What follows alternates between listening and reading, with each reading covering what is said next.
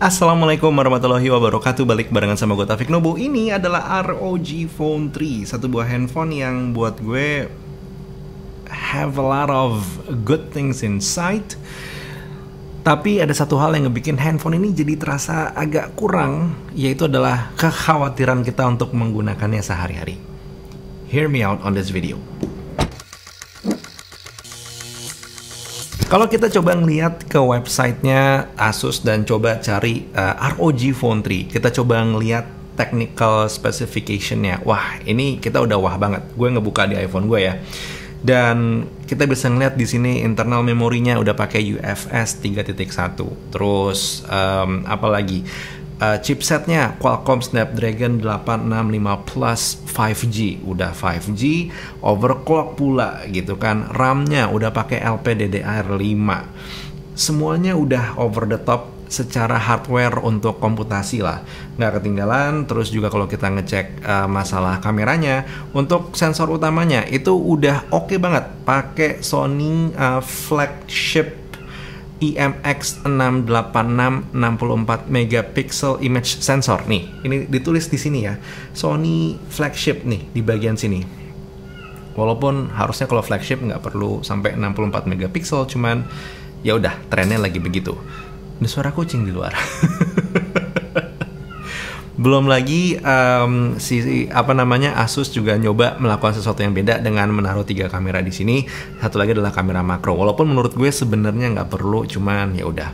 Nggak berhenti di masalah hardware kameranya aja untuk masalah softwarenya sendiri, kalau kita coba menggali lebih dalam lagi, kita akan bisa melihat beberapa keunggulannya, seperti ada mode Pro Video.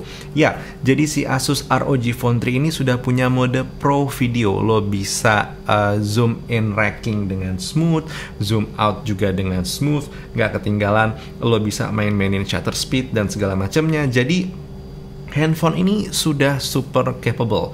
Kalau lo mungkin ngerasa penasaran banget seperti apa uh, kehandalan handphone ini kalau diukur menggunakan aplikasi uh, benchmark. Oke, okay.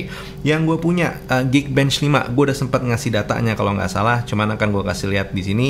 Datanya kalau uh, X mode-nya itu kita matiin, single core-nya 971, multi core-nya 3201. Single core-nya 990 kalau di uh, nyalain X mode-nya dengan multi core-nya 3270. Ini udah tinggi. Dan kalau misalkan lo juga mencoba menggunakan handphone ini sebagai handphone harian, hitungannya udah enak banget.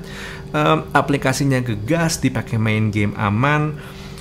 Untuk touchscreen uh, responsiveness, gue ngerasa dalam kadar yang aman-aman aja. Gue nggak ngerasa ada yang bermasalah gue yang tadinya seneng banget main Call of Duty Mobile pakai Air Trigger uh, versi 3 kalau nggak salah ya. Dari yang tadinya menikmati sekarang malah lebih seneng pakai screen begini karena jadinya lebih intuitif. Intinya what's not to love? Secara hardware ROG Phone 3 emang udah bener-bener top. Terus juga uh, secara software dengan ROG UI-nya juga menurut gue hitungannya udah handal. Seperti yang gue omongin di video hands on ada Armory Crate yang juga ngebikin handphone ini jadi berbeda rasanya. Emang bener-bener satu buah handphone gaming yang menurut gue kesan gamingnya itu tidak gimmick lah. Emang bener-bener powerful lo pakai main game bisa dan kalau lo bukan seorang gamers lo pakai handphone ini harian you have no problem at all karena dipakai multimedia nyaman banget terus juga uh, speakernya.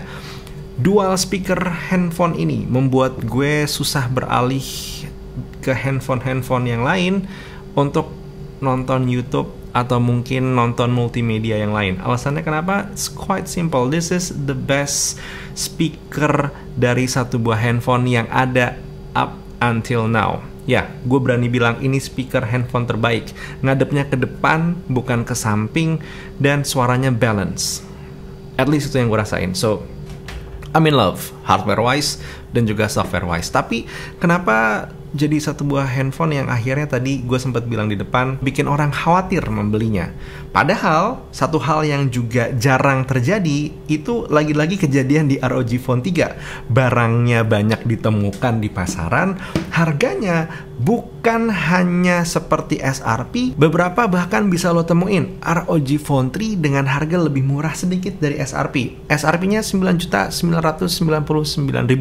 Tapi uh, ada yang jual dengan 9.910.000. Wah, itu hitungannya walaupun mungkin nggak terlalu jauh, cuman cukup jarang terjadi sama satu buah handphone yang dikeluarin sama Asus dan banyak dicari orang. But then again, kenapa bikin orang khawatir dan mungkin agak sedikit ragu membeli handphone ini? Jawabannya adalah mesin CEIR, CEIR yang penuh.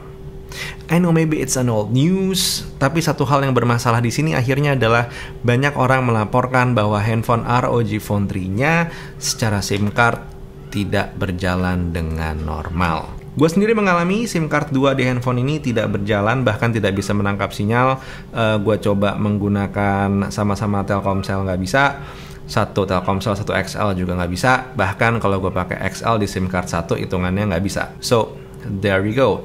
A great phone with a great software, reliable, menyenangkan buat dimiliki, dan mungkin satu buah handphone yang cukup exciting di tahun 2020 hancur karena satu buah aturan yang ya itulah anyway What do you think about ROG Phone 3? Dengan segala permasalahan yang ada saat ini, apakah tetap pengen coba lo beli? I wanna know, I wanna listen. Taufik Nubo cabut. Assalamualaikum warahmatullahi wabarakatuh. Skadush.